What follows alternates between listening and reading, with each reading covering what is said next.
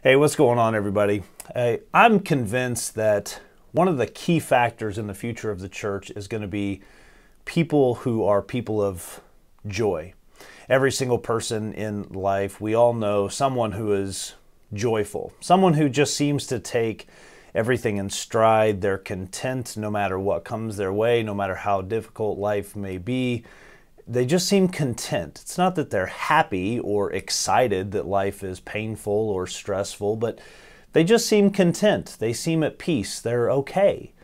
We all know a few people like that. I would venture a guess that we all know a lot more people who aren't like that. The Oscar the Grouches, the Karens of our world, if I can use a 2021 term. You know, people who are just grouchy and negative and kind of see everything as miserable and life as not very good and just down about everything. We all know people who are joyful, and we all know some people who just don't really seem to be that way. And yet, as followers of Jesus, as disciples of Christ, we're called to be light in the darkness. We're called to be salt in the world. And I'm convinced that one of the ways that that's going to be seen the most in the future of the church is through joy. There's a great definition of joy. I've used it for years and I go back to it often. It goes like this Joy is a sense of contentment and peace that comes from our soul, produced by the Holy Spirit, as we see God at work in our lives and in the world.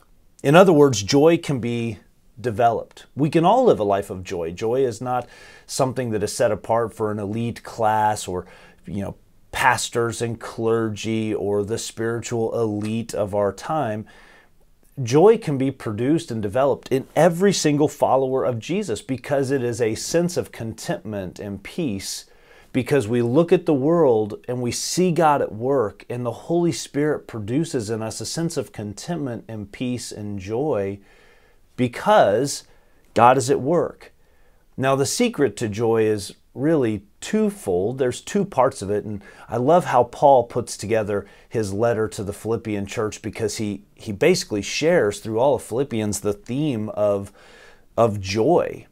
And the two things that he really shares a lot of as the secret to joy in the book of Philippians, it's twofold. He says you have to have a faith in God's sovereignty, but also joy is the surpassing worth of knowing Jesus Christ. And Paul writes about this theme all through the book of Philippians. For instance, in Philippians chapter 1, starting in verse 6, and then we'll jump down to verse 12, Paul writes this I am sure of this, that he who started a good work in you will carry it on to completion until the day of Christ Jesus. Now, I want you to know, brothers and sisters, that what has happened to me has actually advanced the gospel Oh, Paul is writing so positively and, and, and with some sense of contentment and joy that God is at work. He is writing this from a prison cell. How can he write this, these positive lines about the advancement of the gospel when he's stuck in prison and not out advancing the gospel?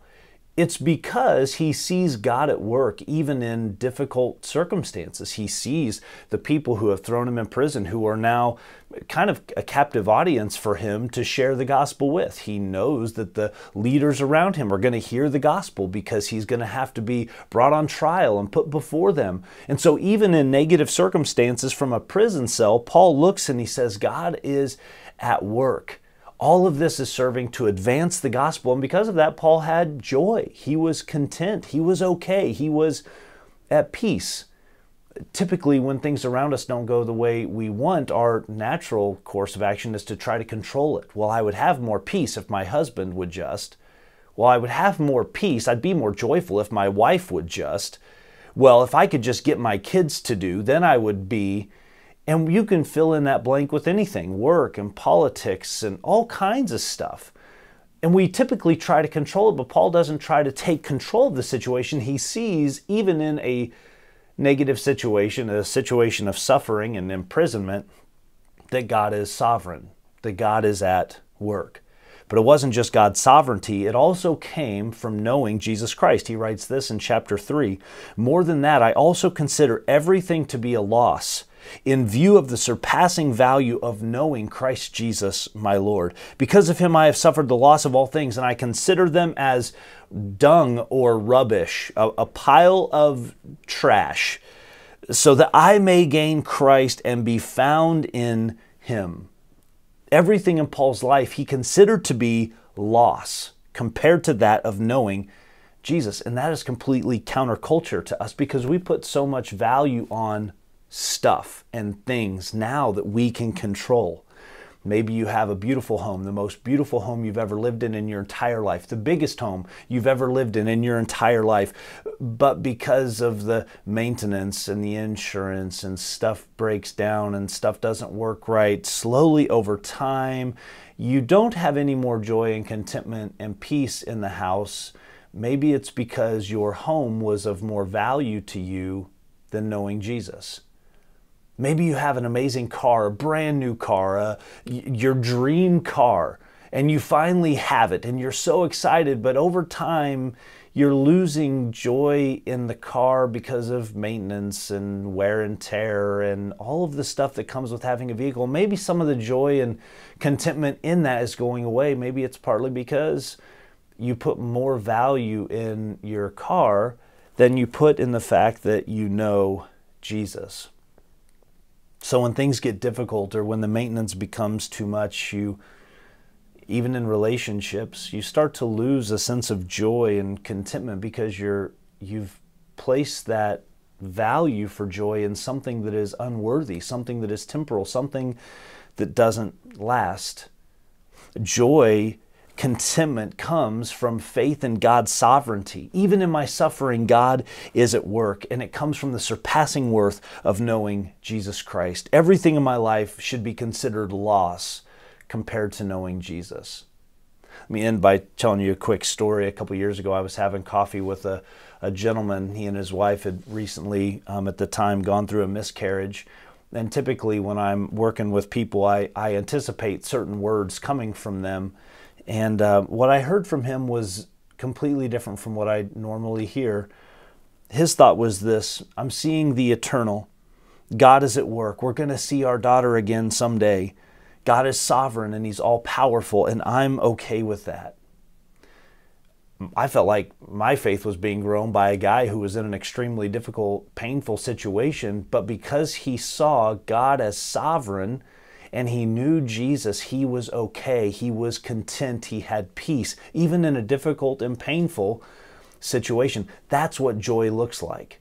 He wasn't doing cartwheels and happy because they had lost a child, but he had joy and contentment knowing God was sovereign and he was going to see his daughter again someday. Confidence in God's work, that's where our joy comes from.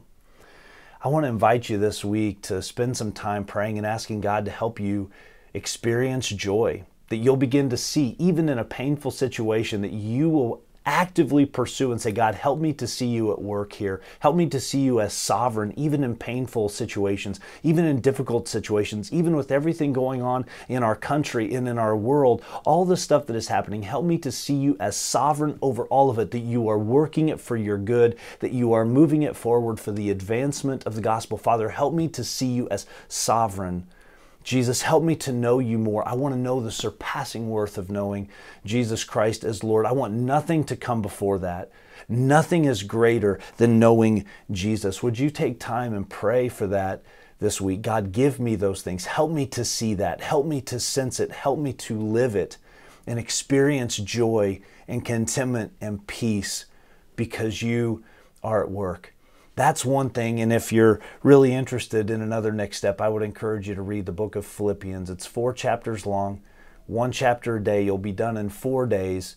And the theme through Philippians is so amazing joy and contentment in God's sovereignty and in the surpassing worth of knowing Jesus. May each of us who are watching this, who are connected uh, here to this video, may each of us know the surpassing worth of knowing Jesus Christ and having a faith in the sovereignty of God. And may you be more joyful this week than you've ever been before. God bless.